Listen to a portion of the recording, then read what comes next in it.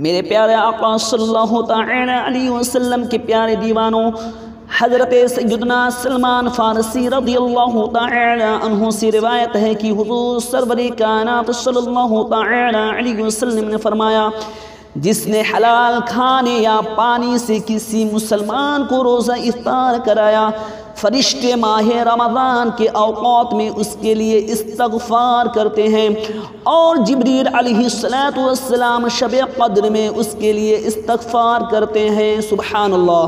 कुर्बान चाहिए अल्लाह ताला की रहमत पर कि कोई इस्लामी भाई माह रमज़ान में अगर अपने किसी रोज़ादार इस्लामी भाई को एक आधा खजूर खिलाकर या पानी का एक आधा घोंट पिलाकर रोज़ा इफ्तार करा दे तो उसके लिए अल्लाह ताला के मासूम फरिश्ते रमज़ान मुबारक के अवकात में फ़रिश्तों के आका हज़रत सैदना जबरील अलैहिस्सलाम शब कद्र में दुआए मगफ़रत फरमाते हैं। सुबह अल्लाह एक और रिवायत में आता है कि जो हलाल कमाई से रमज़ान में रोज़ा इफ्तार कराए, रमज़ान की तमाम रातों में फरिश्ते उस पर दरूद भेजते हैं और शब कद्र में जबरील उससे मुसाफ़ह करते हैं।